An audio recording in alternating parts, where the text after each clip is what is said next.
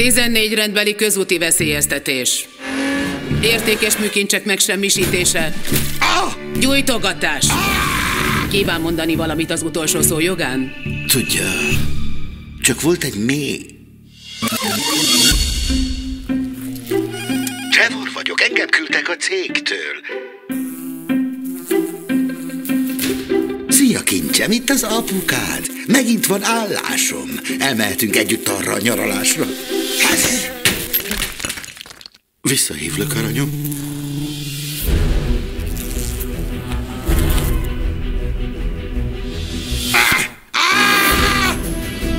Takarodj innen! Takarodj innen! Pusztulj! Minden rendben van? Ah, igen, persze. Tűnj innen! Mi van?